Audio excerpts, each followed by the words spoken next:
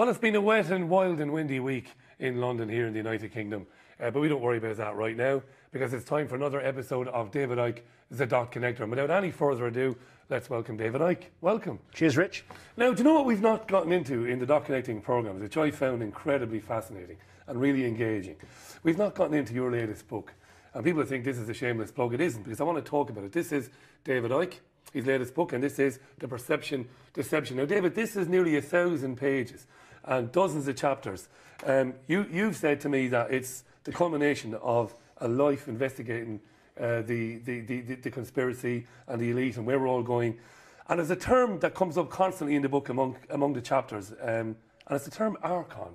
Yeah. What does that mean exactly, Archon?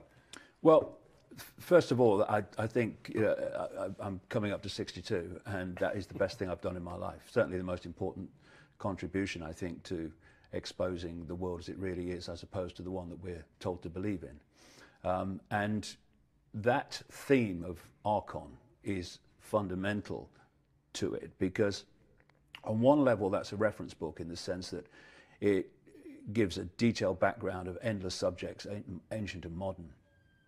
But it's really a storybook. It's uh, a storybook that has a beginning, a middle, and an end. And the end is, is where we are now and why we're here because of what's gone, gone before. And um, Archon is just a name, one name that uh, is among endless names given by different cultures all over the world to a parasitic, it, it, in its foundation state, um, a force without form, just energetic awareness, um, which has been manipulating human affairs for at least thousands of years and, and probably um, a lot longer. And the reason I, I, I choose the word um, archon is simply because it simplifies it. Because one of the, the points where the, um, the penny drops is when you realize that all these different names around the ancient world for gods are actually describing the same force. And it's the different names which throw people out because they think, well, that's one deity, and that's a deity, and there's another deity. Actually, they're different names of the same thing. That's a big penny drop, that is. Starts to simplify everything. And the, the name Archon comes from um, a group of people a, a pre-Christian people, uh, which were called uh, and are still called the Gnostics. Gnostics means learned, and Gnosticism means knowledge. But it was a different kind of knowledge. I mean, we, we perceive knowledge as going to school and going to college and university. And, your degree. And learning what yeah. they tell you. Um, the Gnostic form of knowledge was to go much deeper into a the nature of reality, but but also to be able to get out beyond this reality and perceive realities that are simultaneous to, to, to, this one, just like radio stations share the same space without interfering each other with each other unless they're close on the dial, which might be significant as we go along. Uh, and um, the the big breakthrough in terms of uh, Gnostic knowledge came when a sealed jar was discovered at a place called Nag Hammadi in Egypt. It's about 70 odd uh, miles from Luxor on the Nile. And what was fantastic about this find is that you've got um, religious writings, like in the Bible, which are, which are ancient writings put between two covers. Um, but because they've been around and in the public arena for so long, they've had the potential to be changed to fit the, the authority of the day and what they wanted people to believe.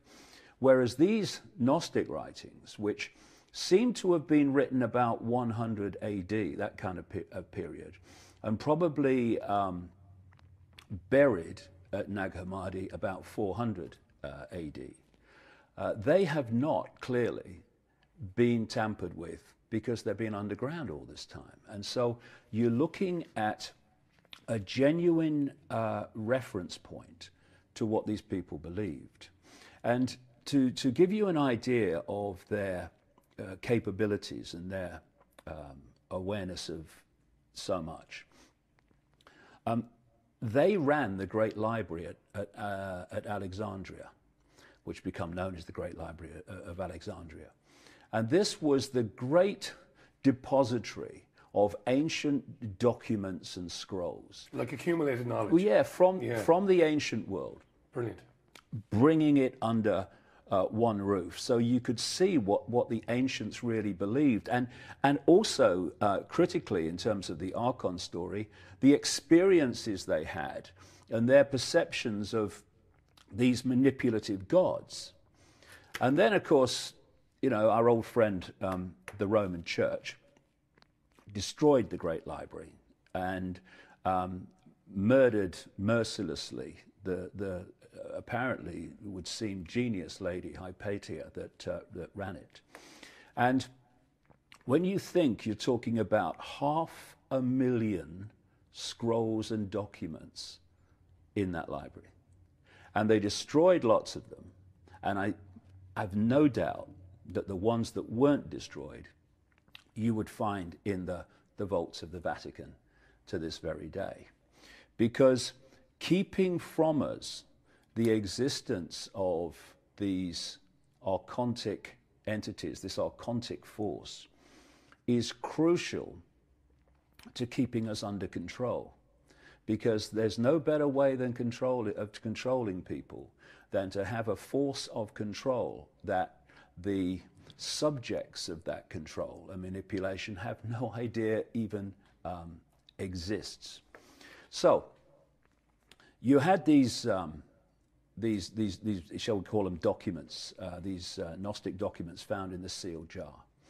One fifth of them are about this Archon uh, force. They say that it is a parasitical force that feeds off human energy, that has the ability to manipulate perception, hence the perception deception, and to um, create illusions which people think are real. Um, think, think the Matrix uh, movie series, for instance. And they said that these archons were in a distorted state, which meant that they didn't have what they call intentionality, what I would call creative imagination.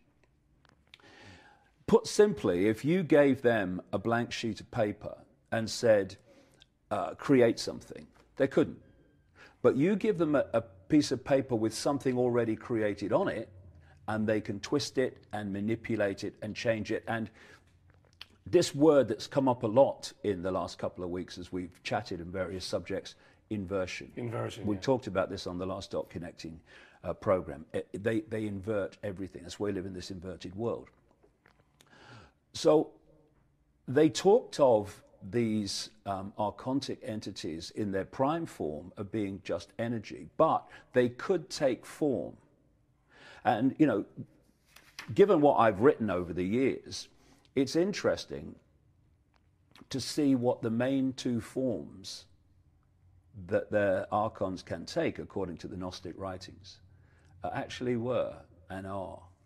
Remember, this, um, these texts were, were written around 100 AD, probably buried about 400 AD, in the wake of the, the destruction of the Great Library of um, Alexandria in, uh, in Egypt.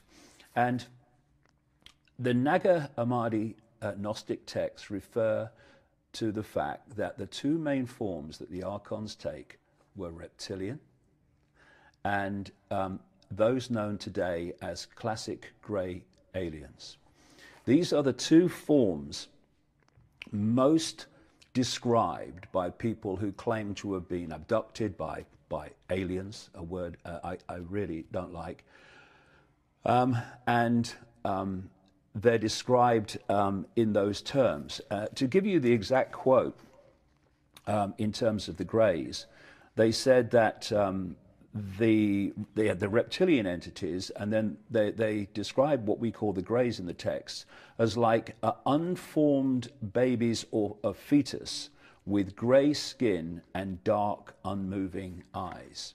And if you look at a picture a mock-up picture of how people describe these so-called yeah. grey aliens, um, then what a great description! All that time ago, an unformed baby or fetus with grey skin and dark, unmoving eyes, and you you start to realise that while we think that this uh, reptilian um, grey phenomenon is a, is a modern phenomenon, in fact, it's not like that at all. Um, the, um, the archons of which they are an expression in form um, operate in a different um, frequency band to us. It's very close to this one, but it's not within the frequency band that we uh, decode, which scientists call visible light. It's the only narrow uh, band of frequency that we can actually uh, perceive as, as, as the world we live in.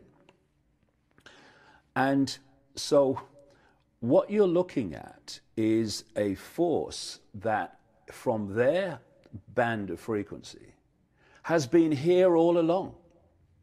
When humans were knocking rocks together in what we call the Stone, uh, Stone Age and, and, and earlier, they were still in the, the state that they're in, they already had the technological knowledge, which is a big thing with these archons. They're obsessed with technology. Think transhumanism, by the way. Um, and, and all along, they have been manipulating human society. So in this case, um, the Gnostics were describing them, uh, what, in 100 AD. But you go back further, and they go under names like uh, gnomes and elves and goblins and in, in, our, in your country, little people. Uh, little people, yeah. Yeah. Because uh, yeah. some of them are, um, especially the greys, are, are, are, very small. Not all of them, but, but, but there is a, a type that's very small. And so, what's been happening what, through what we call human history is this force has been manipulating uh, human development.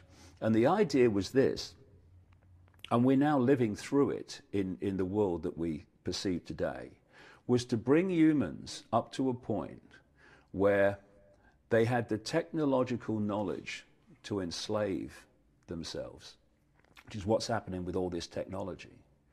Um, surveillance technology, uh, transhumanism technology, introducing technology to the body.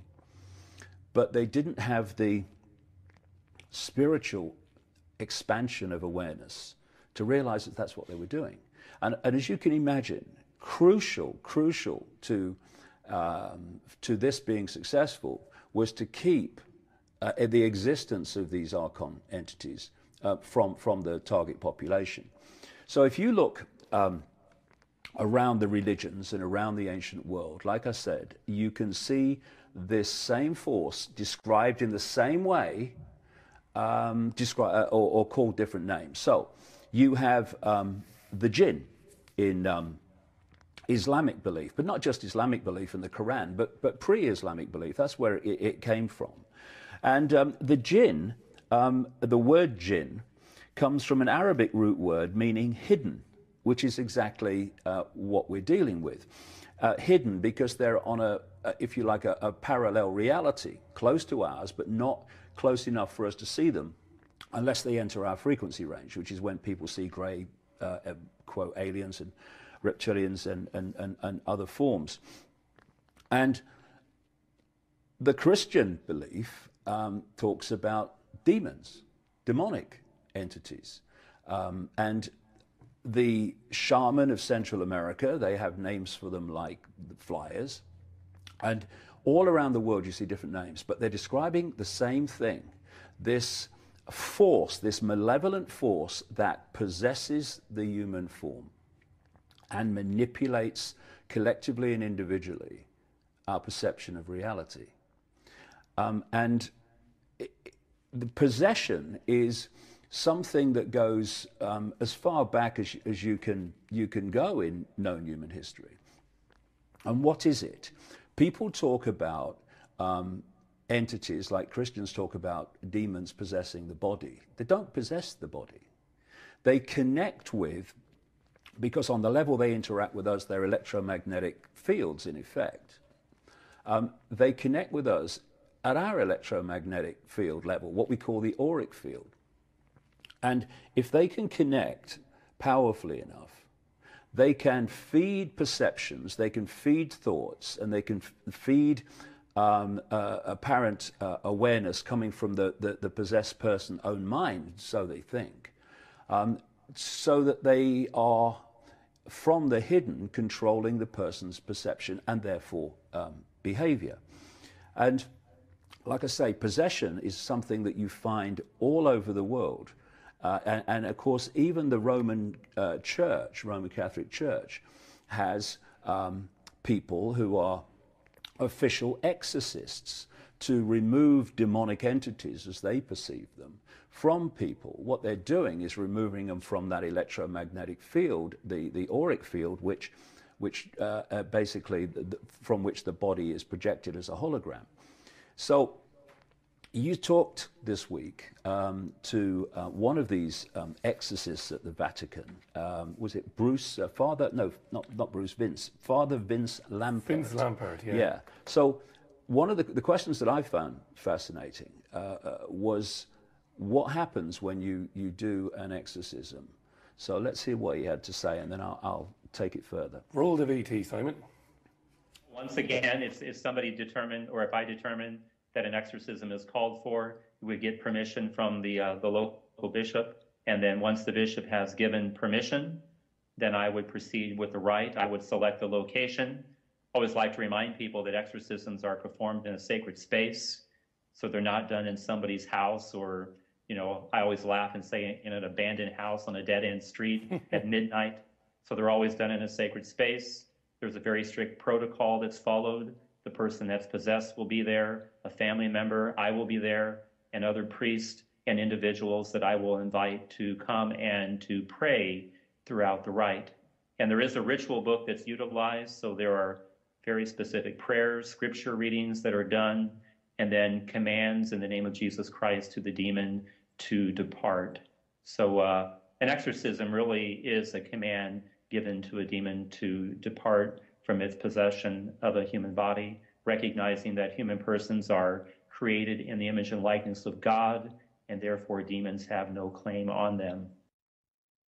That was Father Vince Lampert talking to the Richie Allen show last Friday. Now, I know you've got quite a bit to say about that. Yeah. We'll take a very quick break. You are watching David Icke, Dot Connector, on The People's Voice. We'll be back in a couple of minutes.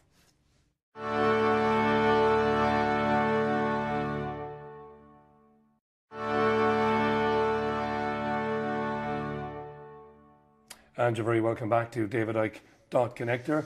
Remember, if you've missed any previous episodes, go to our YouTube channel. It's youtube.com forward slash the TPV channel. Now, we're talking a little bit today about David's new book, The Perception Deception. It's a terrific book, massive book, a life's work, as he said, and we're talking about archons. Now, just before the break, we saw Father Vince Lampert talking to me on the Richie Allen show last week about how the Catholic Church goes about performing an exorcism. And it's very similar to what you've been describing in your books and in this book in terms of pulling an entity out of um, somebody, uh, an energy field, as you call it. Yeah. Uh, see, what, what confuses people, I think, is because they've got a, a religion to uh, protect and, and, and follow, they have to put these things in religious terms. So you do an exorcism and you're a Roman Catholic priest, you call in the name of Jesus and, and was interesting what Vince said about he has people around praying. What is prayer? It's concentrated, focused thought. Concentrated thought and emotional states create different frequencies. Now, these um, archontic entities are of a very low frequency because of their state of being. Your state of being dictates the frequency if you're uh, open-hearted and loving and um, you, you genuine, honest, straight, um, uh, your uh, state of being will generate a certain frequency in your energy field. If, like these archontic entities, you want to control and suppress and create suffering and feed off low vibrational uh, human emotion, so you've got to create the circumstances that generates that, i.e., the world we live in, then um, you're going to be of a very low uh, frequency, a very low vibrational frequency. Um, and so if you are of that frequency type and you find yourself in a, a much higher uh, frequency uh, environment, you need to get out of there because you can't stay there because it's incompatible to you. And so when these people are sitting around uh, praying, their concentrated thought, and, and Jesus is, is, is, is not a, a, a person, it's the thought form. It's a way that people just ask people, how do you how do you symbolize love? And they'll say, well, I, a heart or, or, or, or, the sun coming up or, or, or a candlelight or, or all these different ways that love. Christians, genuine Christians, who actually try to live the Christian life as they perceive it should be, um, they perceive love as Jesus. So by, by, by, by the very fact that they're, they're saying in the name of, what they're saying is the name of their version of love. Whatever their version of love is, if they are genuinely uh, trying to invoke it, then they are generating a frequency akin to that. Um, and that is a frequency which this archontic, um, these archontic entities, this archontic energy, this archontic frequency cannot, cannot stay around in. And I would put it another way without any mention of Jesus and without you know any in, invoking of, of this, that, the other, without any prayer as they would perceive prayer. Um, something that happened to me in Peru in um, 2012. Um, one of the things to emphasize about these, um, this archontic force is it's, it's a little boy in short trousers. You know, people are terrified of demons. You know, you have demonic entities. I have control over you. You know, oh, chill out, mate, will you? On when way. you see it, though, it is pretty. No, it, it yeah, is for, but, for but, those looking at it. It's yeah, pretty it scary, is. You know? But it's it, this is one of the great illusions that these things have power over humans. They they have power over humans that think they have power over humans. It's a self fulfilling prophecy. And what what Vince said in the interview there is he, when he's doing these exorcisms, he commands that they leave. Well, well, well, you do because you have more power than they do, and, and, and if you command it in the right way with the right again energy, they they have to get out of there. And what happened to me in um, on a trip to Peru in um, in 2012 was we ended up at this place at, at, on this particular day uh, at a time when it was very close to pitch darkness, and by the time it all happened, it was pitch darkness. And it was a place called the Gate of the Gods, um, and not that far from a place called Puno um, on Lake Titicaca. And what happened was I, I, I, was tired, and, and they were going over to this Gate of the Gods through the, the rest of the group was. And I, I was tired, so I was sat on this rock and uh, minding my own business, waiting for him to come back. And uh, this Gate of the Gods, uh, and why it's called the Gate of the Gods, is these archontic entities in their various forms reptilian grey or their, their pure energetic form, they were the gods of the ancient world um, in, in, in, so many uh, instances. Uh, they were the, the gods that, that they gave sacrifice to. You see, when um, you, you realize that these uh, gods are feeding off uh, human uh, low vibrational energy, and, and, and one of the, the lowest vibrations is terror and, and uh, extreme levels of fear. Well, you can understand then that when um, people are being sacrificed, they're going through a, obviously a ritual um, meant to generate maximum terror. And while the, the Satanists are, are, are, in our world doing their stuff, the gods, these entities, are feeding off that very, very extreme um, frequency of terror, fear, and all that goes with sacrifice. Another thing is that um, the energy they want more than anything else, these entities, is the energy of children before puberty. Because we see puberty as a time of chemical and hormonal change. That's just a, um, an expression of an energetic change going on in the auric field. They uh, want that energy before that change takes place. And this is why, throughout history, they've talked about um, sacrificing young virgins to the gods. Young virgins is just code for children. This is where um, the story of pedophilia comes in. Why is there, increasingly clearly, um, such a concentration of paedophiles in the so-called upper echelons of society. It's because they are um, people who are deeply, deeply possessed by these entities, so deeply possessed that when the sexual act with a child is going on, these possessing entities can draw the life force, this energy, prepubescent energy, from the child and feed off it. This is why, why, why it is. I mean, why is it that, that there is this incredible concentration of paedophiles in the upper echelons of so called upper echelons of society? This is the reason. So that's not to excuse it, of course. I know you're not excusing no, it. It's very important that we say that because somebody was always excusing it. You're not excusing it. Not I in, know that. Not in the least. I've been spent the last 25 years exposing, exposing it. Yeah, exactly. Um, but but I'm, I'm, just pointing out why it is. Yeah. So what happened in in um, this situation in Peru is I'm sitting on this rock. Uh, and there's this Peruvian guide supposed to be, you know, looking after him, but he was sitting there doing his emails on his phone, and suddenly I heard these screams um, from the, the Gate of the Gods, which is also known by some there as Devil's Gate. That's interesting enough, isn't it? Yeah. Somebody the gate of the gods and the devil's yeah, gate. exactly. Yeah, yeah. Uh, and uh, just very quickly, what it is, it's a, it's a sheer sheet of red rock with, with various enclaves cut out of it with, for the ritual to the gods. And um, talking to some of the locals um, after this incident, um, they were saying that if you don't come prepared to this place, you can go mad. Right? This is this is the legend. Coming prepared means you have to go there in a, in a high vibrational state because if you don't, and, and you, you, you're you're open to uh, these entities getting into your energy field, then you do go mad. Because what happened was I'm sitting on this this rock and I'm hearing this this it's like a screaming sound and it's, it's pitch black. Um, and, and I, I, said to this guy who's doing his email, I said, look, mate, is there any animals here? What's that noise? And I heard it again and again. And so I, I got interested. I started walking towards the, the gate of the gods. Um, and by the way, this is all captured in a, a DVD called Return to Peru. We, we uh, ran it on the People's Voice uh, over Christmas a few times. And uh, I met an American uh, guy from the from the group. He says, "Oh, David," he said, "Don't go over there." He said, "It's horrible. The energy's horrible, evil." And uh, he said, "Oh, so and so mentioned a name. He's having a real bad experience, right?" So I said, "Well, I'm going then."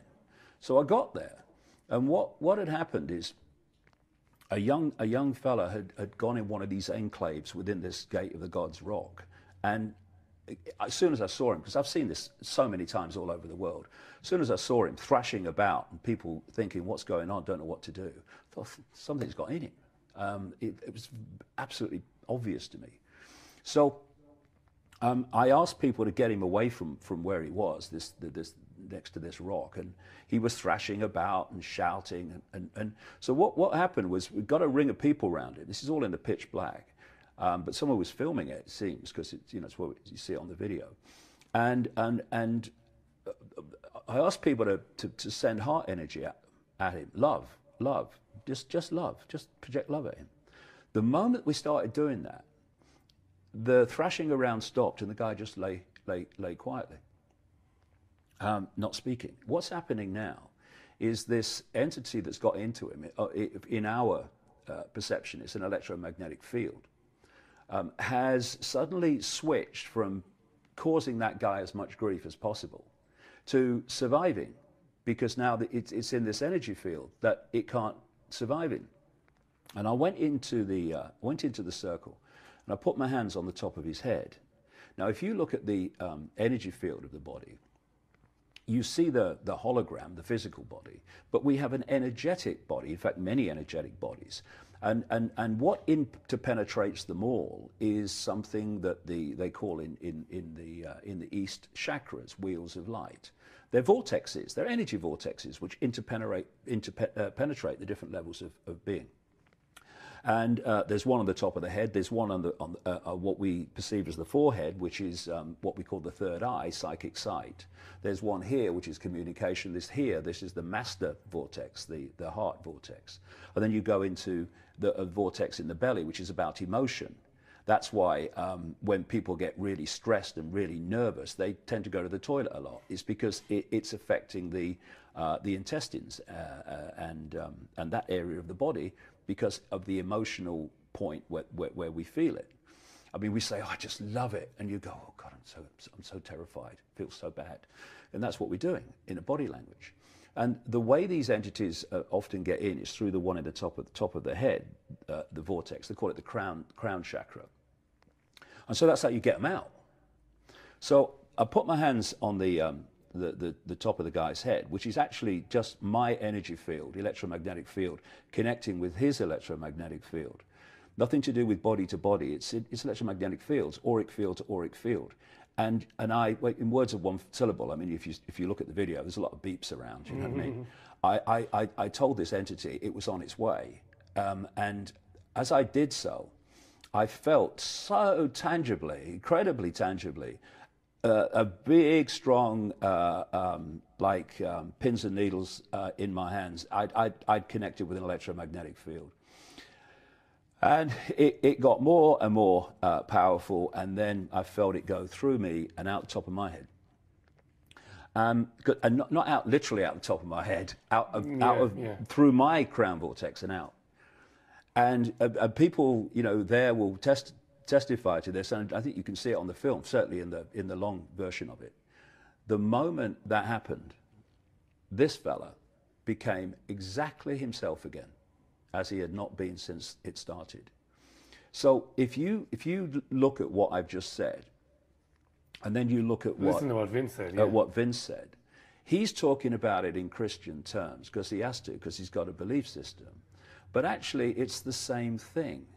You are creating an energetic field which is not compatible with the entity's frequency, and then you are commanding it to leave. And this process has been described all over the world in culture after culture. Now, if these entities connect with you really, really powerfully, um, then you can get to the extremes of Satanism, which is what? It's interacting with these entities. In fact, I've talked to Satanists all over the world, former Satanists, um, as they describe themselves, who are describing the rituals and, and the hierarchy of Satanism. And what they say is that the rituals are designed, I'll, I'll come to another reason for them in a second, but the rituals are designed so that the Satanists opens themselves consciously and on purpose to let these entities um, take them over. And the more powerful the um, entity is, the higher you are in the satanic hierarchy. It's based on, on, on the power of the, quote, demons that are possessing you. So, in that way, you take the hierarchy, shall we say, the archon hierarchy in this a parallel world. And through um, possession and uh, the power of the entity dictating your point in the hierarchy of Satanism, you therefore transfer, uh, transfer the archontic hierarchy into human form. And so some of the most uh, possessed of them uh, in other words, that their, their mental and what passes for their emotional processes are completely um, uh, dictated by these entities. They're the ones that get to the top of the banking system, that get to the top of the um, corporations, that run governments, that own the media. It's that hierarchy transported here. And um, this is a, um, uh, you know, I talked about that, the, the heart chakra. The idea, uh, the only way that you can behave as they behave, pepper bombing cities of civilians and, and, and mass murder in, in, in, world wars and, and, and mass murder in, with pharmaceutical ju- uh, drugs and, and, and cumulative mass murder with things like GM crops and geoengineering the planet and killing people. And it's all about death because these archontic uh, entities feed off death. Um, closing this heart chakra, which would which gives us compassion, which gives us uh, integrity, which gives us caring, that um, is essential to close down. So that these possessed uh, bloodlines uh, uh, uh, that I'm talking about um, behave in the way that is the horrific way that we see. And I came across this quote from a Swiss clairvoyant called um, Anton Styger. He's not talking about reptilian entities or any of this stuff. Or the greys or anything. Nothing. Yeah, yeah. He's he's telling his his life story in this article. He's describing what has happened in his life and what he's seen. And uh, he's a clairvoyant, therefore he sees further into the uh, the infinity infinity of existence um, than just visible light, which most humans are decoding and therefore only aware of. And this is what he said, Rich. When I see people in business or politics who are particularly trapped by the material world, for example, I notice that they no longer have any light bodies at all. In other words, these other levels of um, energetic fields, which, which he's calling light bodies, he doesn't see them um, in, in, in the same way that he sees other people. That, that's part of the, the possession, the, the closing down of those fields being replaced by, by the possessing, uh, possessing entity. He says, in many of these people, the point of light at the heart chakra, which is otherwise always present with humans, is no longer visible to me because these entities, as part of the possession, close that down. This, once that's closed down, anything goes. Abusing children, torturing children, causing mass death and destruction in wars, not a problem because you have no emotional con- uh, uh, consequence for it. This would, this would be just too much to bear if you were doing that in, um, with, with, with, an open heart. You couldn't bear it. Imagine us trying, to, trying to do it. You, you couldn't, couldn't do it. it, yeah. But they can do it because they don't have an emotional consequence because that's closed down. He goes on. Instead of the heart chakra, I see something like a layer of shiny tar around them. This is the, the, the, um, the, the very low vibrational density of, of, of the energetic um, form of the possessing entity. Instead, I see something like a layer of shiny tar around them, in which a monstrous being in the shape of a lizard can be distinguished. When such people speak on television, for example, I see a crocodile shape manifesting itself around the person like a concave mirror.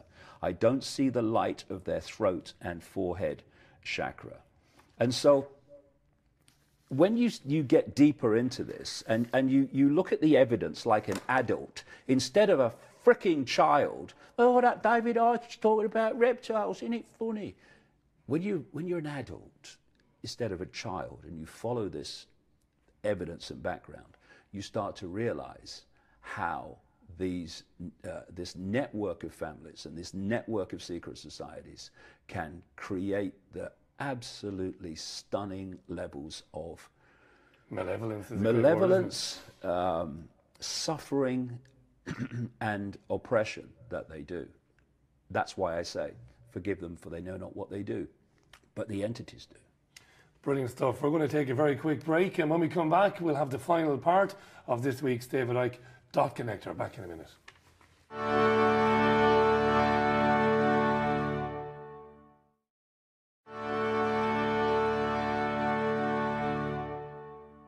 And welcome back to the uh, final part of this week's David Icke Dot Connector. If you've just coming in on the program and you've missed some of it, remember everything is put up on our YouTube channel. That is uh, youtube.com forward slash the TPV channel. And of course, you can find episodes on davidicke.com. We've been talking about archons and how some of the elite can do some of the horrible things they do and not feel the consequences of it, or not feel bad about it or feel guilty about it. Um, it's fascinating stuff this week.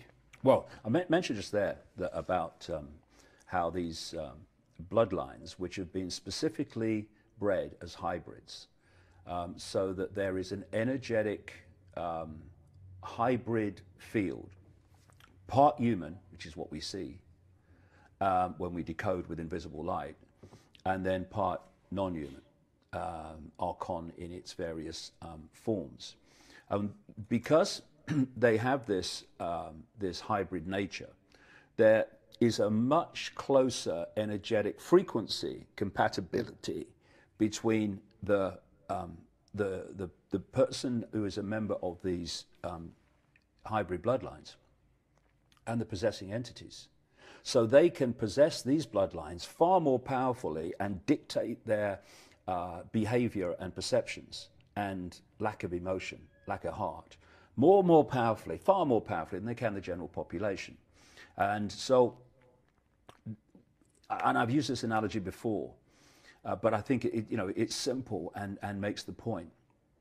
If you um, think of scientists who um, they can't work with a material because it's too it's too dangerous. So what they do is to put the material in a big tank, and they stand outside and they put their long gloves on and they can work inside with the tank. These archontic entities have a problem with our frequency range, incompatible with theirs, and also with our atmosphere, which is incompatible with theirs. And what they're trying to do now is change the atmosphere. We'll get, we'll get into that in, the, in, a, in a future dot connection show. So it's more compatible for them. But if you take the tank to be our world, called visible light, uh, the human world, you take the scientists standing outside the tank to be the archontic uh, entities, and you take the, the gloves working inside to be these hybrid bloodlines, which has been specifically bred to be possessed and be vehicles for them. You've got the, the basic uh, dynamic. And I mentioned that you know these sit atop the banking system and, and the corporations and governments, and this is why they, they work, in, in, not in one country, in multi, multiple, multiple countries. And um, this is a, a quote from a Swiss banker who was interviewed. He was interviewed anonymously for obvious reasons in 2001, and the interview was published in the Russian magazine Novy Den. This is what he said about bankers. These people are corrupt, sick in their minds, so sick they are full of vices, and those vices are kept under wraps on their orders. Some of them rape women, they're pedophiles, and many of them are into Satanism. And he said, uh, direct quote, when you go to some banks, you see these satanistic symbols, like at the Rothschild Bank in Zurich. These people are controlled by blackmail because of the weaknesses they have. They have to follow orders or they would be exposed, they will be destroyed or even uh, killed. And they actually target people with a, um, a, a, predilection, shall we say, to paedophilia and such things, because once, once they, ha- they have, and they've got evidence of it, well, the, the person does what they're told, whether in politics or whatever, um, um, from then on. But looking at this, this frequency band that these archontic entities operate in, um, it, it's what people refer to as hell. And what is hell? Hell is just a very, very low vibrational um, reality in which low vibrational entities operate um, it's like, you know, people who are deeply unpleasant, deeply malevolent, all in the same room, shut the door. Um, and, and, what dictates if you're there or some, somewhere else is your frequency. If you've got a certain frequency, you gravitate to a certain frequency band. That's what you interact with. That's why people need to realize when they're being malevolent and, um, and, and, treating people in, in, horrific ways that that, that, is imp- impacting upon their frequency range. And when they withdraw from the body, they are where they are. With others of the same kind of frequency band, thus what we call hell. And this is um, a, a, story um, which I found fascinating because of what he, he said he, he experienced, involving a American neurosurgeon called Eben Alexander. Oh, yeah, yeah. And in 2008, um, he uh, got, uh, I think, E. coli meningitis. And for about a week, his entire brain shut down. He was, in effect, dead, except not quite. And the only part of his brain that remained active was the most primitive part that was just holding on to life.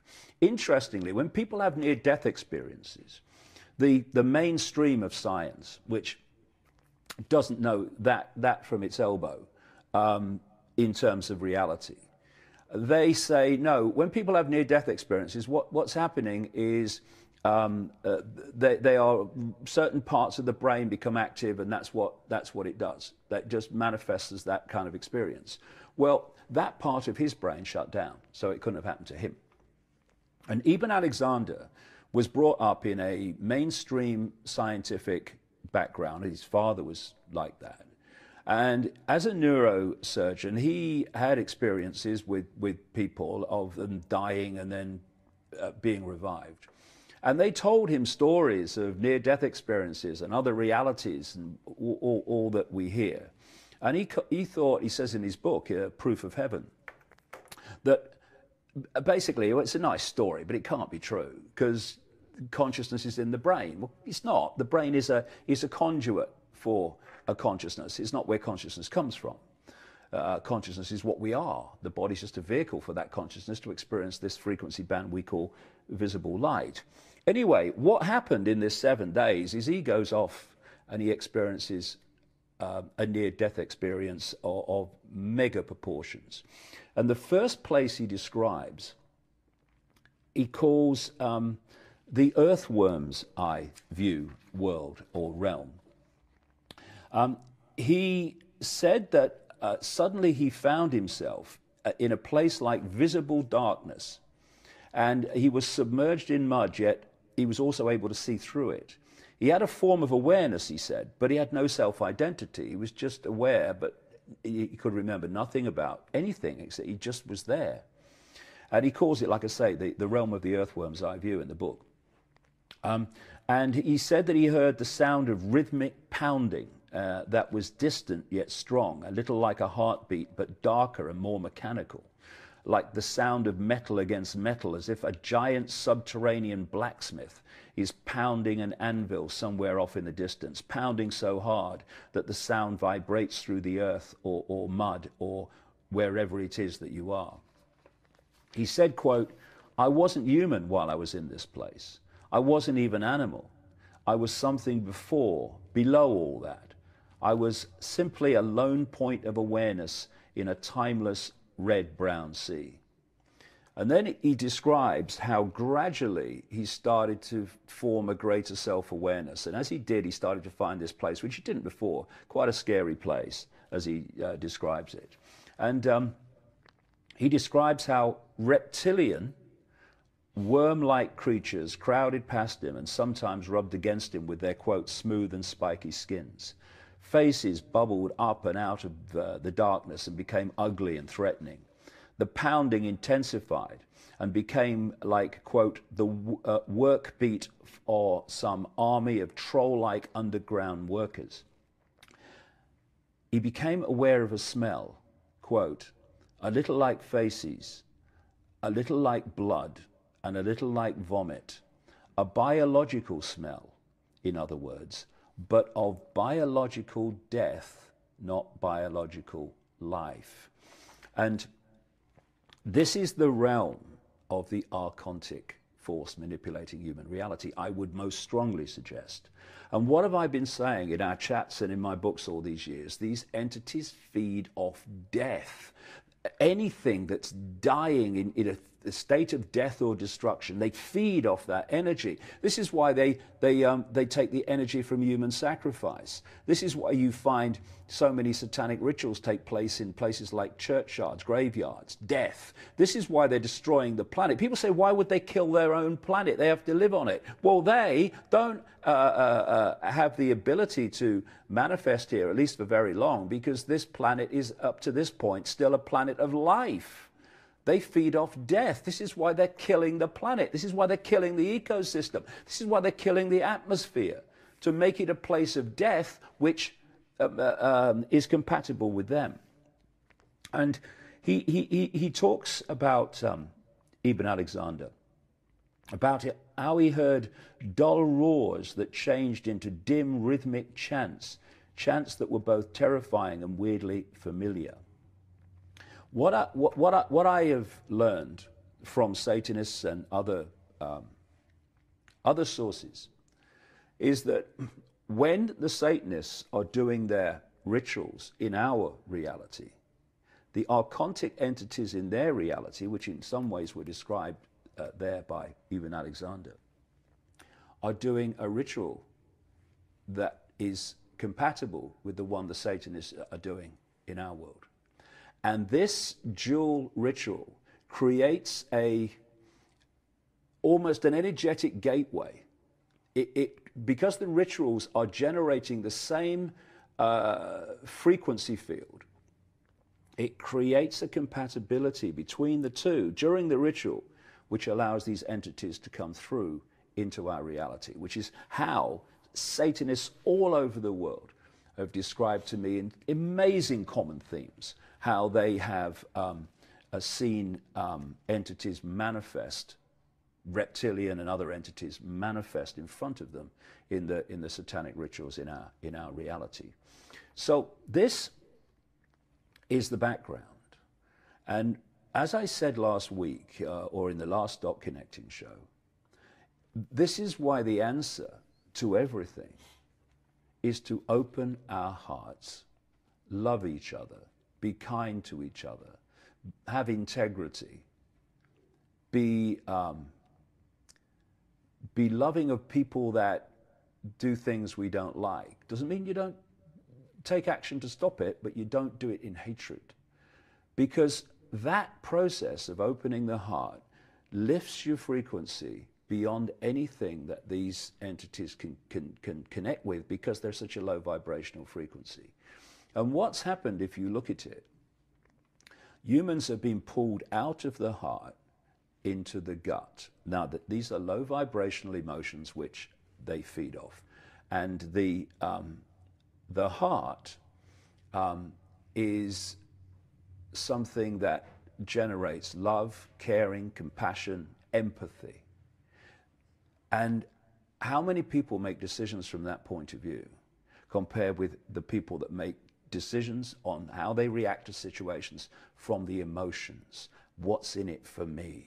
Uh, and, and, and how does this affect me? And so we need to move from a gut society to a heart society. Because if you read the ancient accounts, once upon a time, we were a heart society if you go back far enough. And this archontic manipulation has made us a gut society. We need to move back. And when we do, that influence will be gone and will stop being uh, a food source energetically for that which is um, controlling us. That's the way out of this. And, you know, people who are exposing the conspiracy of intelligence agencies and military and, and all the rest of it, if you don't understand what we've just been talking about, you think the only way out of here is to stockpile weapons and to fight the enemy. You fight the enemy, you are feeding the enemy we must love. And then the food source will be cut off, the power will be cut off, and we will live in a very, very different world. Brilliant stuff, David. Great stuff. Thank you very much for that. That comes, um, that brings us, I should say, to the end of this week's David Icke Connector. If you want to read more about the perception deception, get on to davidicke.com and you'll find out more about it and, in fact, where to buy it if you want to do so. We'll be back with more on the next episode. Bye for now.